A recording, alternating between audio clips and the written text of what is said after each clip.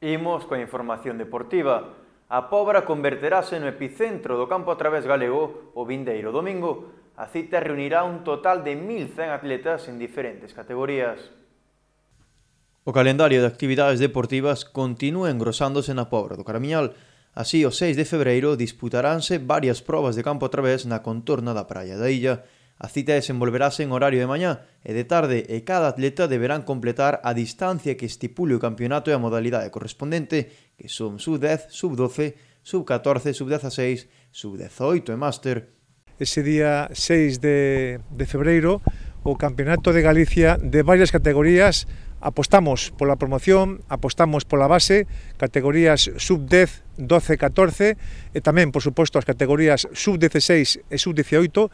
Todo isto vai a ser o, pola mañán e despois xa pola tarde, en sonada de tarde, o Campeonato de Galicia Máster que temos que recordar que comenzan a partir dos 35 anos e con franxas de cada 5 anos pois hai categorías e hai, por suposto, medallas para todas elas. Entre as probas que se desenvolverán estará o Memorial Alejandro Lorenzo, que se disputará nun circuito que acolle por sexta vez estas xornadas. O Memorial Alejandro Lorenzo é algo que tiñe eu metido na cabeza desde o ano 93, que foi a última proba que se fixo aquí federal da categoría de menores.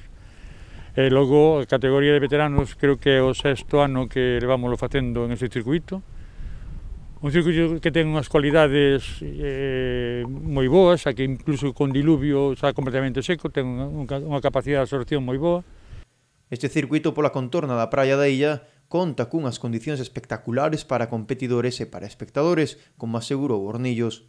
Un circuito que sempre decimos que ten que ser diseñado para os atletas, pero mesmo tamén para os espectadores. E aquí, evidentemente, estamos nunha parase fermosa, unha das máis bonitas de Galicia, e, polo tanto, temos todo preparado, eh, preto de 1.200 atletas, máis os acompañantes, atletas procedentes de todos os lugares da nosa comunidade, e, polo tanto, estamos moi contentos dende a propia Federación Galega. Quero felicitar, como non, ao Concello, a Agrupación Deportiva Barbanza, polo excelente traballo que se fai aquí sempre. No acto de presentación houbo palabras de agradecemento para as tres partes implicadas por facer posible estas competicións, gratitude que tamén estenderon ao propietario da finca situada entre as praias da Lombiña e da Illa por cedela para estas probas. Quisera agradecer a, bueno, este circuito se fai nunha propiedade privada e agradecer a, a persoa de, Lorenzo Rodríguez é o propietario do, circu, de, do terreo, non?